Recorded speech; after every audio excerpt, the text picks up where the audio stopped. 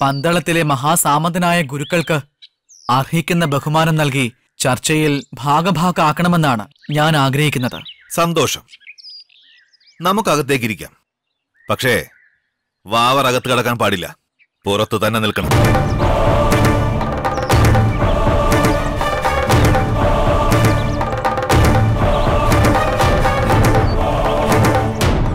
വാവർ എന്ന ദുർഭൂതം അകത്ത് കടന്ന് തൊട്ടു തീണ്ടാൻ പാടില്ല. ഞാൻ പുറത്തു തന്നെ നിന്നുകൊള്ളാം. ക്ഷമിക്കണം വാവർ കുമാരൻ എന്നോട് ക്ഷമ ചോദിക്കരുത്. ഞാൻ കുമാരനെ സ്പർശിച്ചാൽ കുമാരന് അയിത്തമില്ലെങ്കിൽ. പിന്നെ ആര് കൽപ്പിക്കുന്ന അയിത്തവും വാവരുടെ മനസ്സിനെ സ്പർശിക്കുകയില്ല. കുമാരൻ പോയി വന്നാലും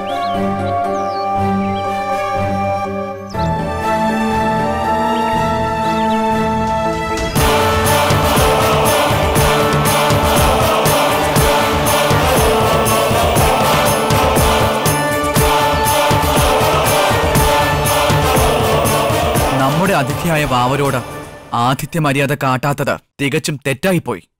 അതിലൂടെ അധപ്പതിച്ചു പോയ ഒരു മനസ്സിനുടമയാണ് നിങ്ങളെന്ന് നിങ്ങൾ സ്വയം ബോധ്യപ്പെടുത്തുകയായിരുന്നു.